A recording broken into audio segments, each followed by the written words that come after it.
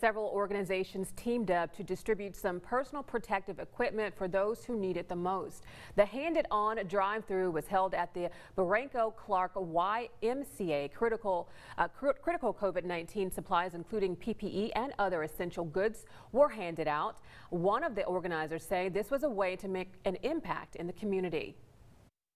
Collaborative effort of over 21 other organizations and businesses here in the city of Baton Rouge. And it's just a small way to let people know that they're not by themselves in what we call a, a crisis and critical time right now. And this was the second giveaway event they've hosted. Mayor President Sharon Weston Broome was in attendance along with the dance troupe and a live band.